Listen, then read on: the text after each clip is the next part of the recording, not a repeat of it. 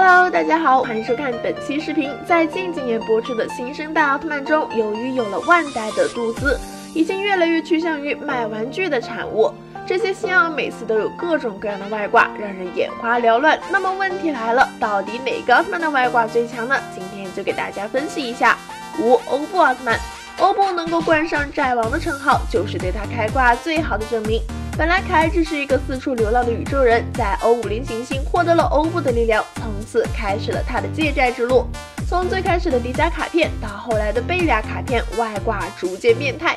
唯一美中不足的是，在刚开始获得贝利亚卡片的时候，欧布竟然还会被黑暗的力量反噬，估计是会员到期了没续费吧。四 X 奥特曼。X 不像其他奥特曼一样寄宿在人间体体内，而是以数据化的方式生活在变声器中，这本身就很离谱。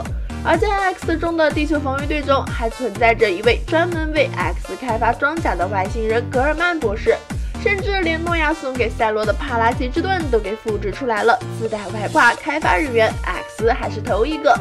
三捷德奥特曼，别看捷德年龄小，他的实力在新生代绝对是数一数二的。这全靠他手中的融合升华器和奥特胶囊了。无论是奥特兄弟还是平成三杰，就没有他借不到的力量，甚至奥特之王的力量也能被他融合。放眼整个新生代，有谁能借到这位大人的力量？不愧是贝老黑的儿子。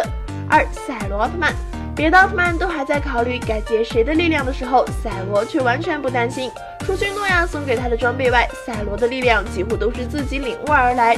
别人靠借力量使得自己强大，但是赛罗强大的原因在哪呢？就是官方送给他的主角光环。无论是在哪部奥特曼中出场，都是逼格满满。他本身就是一个外挂。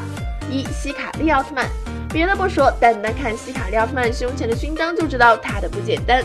目前已知的奥特曼中，也只有佐菲能和他一较高下了。希卡利获得这么多勋章，靠的不是自己的战绩，而是自己为光之国科学所做的贡献。奥特胶囊厉害吧？希卡利做的。生化器变态吧？也是希卡利做的。简单来说，希卡利从不使用外挂，但他却是外挂的制造者。人形制造作弊器，了解一下。与希卡利一对比，感觉前面的欧布、X 都要靠边站了。小伙伴们，你们觉得呢？好啦，以上就是本期带来的内容了，我们下期再见吧，拜拜。